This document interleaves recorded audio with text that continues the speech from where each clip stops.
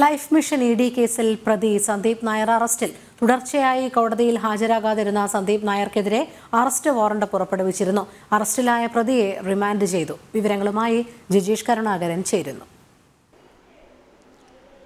Life mission കരാർ commission കേസിൽ കോടതി നടപടികളോട് തുടർച്ചയായി നിസ്സഹകരിച്ചതിനെ തുടർന്നായിരുന്നു സന്ദീപ് നായർക്കെതിരെ നേരത്തെ കോടതി അറസ്റ്റ് വാറണ്ട് പുറപ്പെടുവിച്ചത്. അറസ്റ്റ് വാറണ്ട് പുറപ്പെടുവിച്ചതിനെ തുടർന്നാണ് ഇന്ന് സന്ദീപ് നായർ കോടതിയിൽ ഹാജരായത്. കോടതിയിൽ ഹാജരായ സമയം എൻഫോഴ്സ്മെന്റ് ഡയറക്ടറേറ്റിന്റെ അഭിഭാഷക കൃത്യമായി തന്നെ സന്ദീപ് നിരന്തരം കോടതി നടപടികളെ ധിക്കരിക്കുകയാണ് എന്നും അതുകൊണ്ട് തന്നെ ശക്തമായ നടപടി സന്ദീപിനെതിരെ സ്വീകരിക്കണമെന്നും കോടതിക്ക് മുന്നിൽ ആവശ്യപ്പെട്ടു. അങ്ങനെയാണ് അറസ്റ്റ് വാറണ്ട് നിലനിൽക്കുന്ന പ്രതിയെ അറസ്റ്റ് ചെയ്യാനും റിമാൻഡ് ചെയ്യാനും ജയിലിലേക്ക് പറഞ്ഞുവിടാനുമുള്ള ഒരു ഓർഡർ കോടതി പുറപ്പെടുവിക്കുന്നത്. സന്ദീപ് നായർ നേരത്തെ പതിനൊന്ന് പ്രതികളാണ് ലൈഫ് മിഷൻ കരാർ കമ്മീഷനുമായി ബന്ധപ്പെട്ട എൻഫോഴ്സ്മെന്റ് ഡയറക്ടറേറ്റിന്റെ കേസിലുള്ളത്.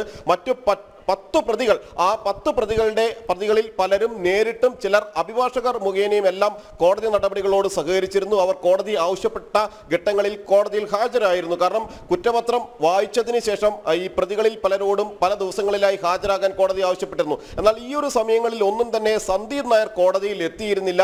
ഇത് പല തവണയും പ്രോസിക്യൂഷൻ കോടതിയെ ബോധിപ്പിക്കുകയും ചെയ്തിരുന്നു. സന്ദീപ് നിരന്തരമായി കോടതി നടപടികളിൽ നിന്ന് വിട്ടുനിൽക്കുന്നു എന്ന കാര്യം. അങ്ങനെ ഒടുവിൽ സന്ദീപ് നായരുടെ അറസ്റ്റ് നടപടികളിലേക്ക് കടക്കുകയും ചെയ്തത്. ഒപ്പം തന്നെ ഈജിപ്ഷ്യൻ പൗരൻ ഗാലിദിനെതിരെയും നിലവിൽ അറസ്റ്റ് വാറണ്ടുണ്ട് ഇയാൾ വിദേശത്ത് ഇപ്പോഴും കഴിയുകയാണ്. ഇയാൾ എവിടെയാണ് എന്ന് കണ്ടെത്താനോ ഇയാളെ ചോദ്യം ചെയ്യാനോ ഒന്നും തന്നെ വിവിധ അന്വേഷണ സംഘങ്ങൾക്ക് കഴിഞ്ഞിരുന്നില്ല. ഈ ഒരു സാഹചര്യത്തിൽ ലൈഫ് മിഷൻ കരാർ കമ്മീഷൻ കേസിലും പ്രതിയായ ഈജിപ്ഷ്യൻ പൗരൻ ഗാലിദ് അലി ഷൗക്രിക്കെതിരെ കൂടി അറസ്റ്റ് വാറണ്ട് നിലനിൽക്കുകയാണ്.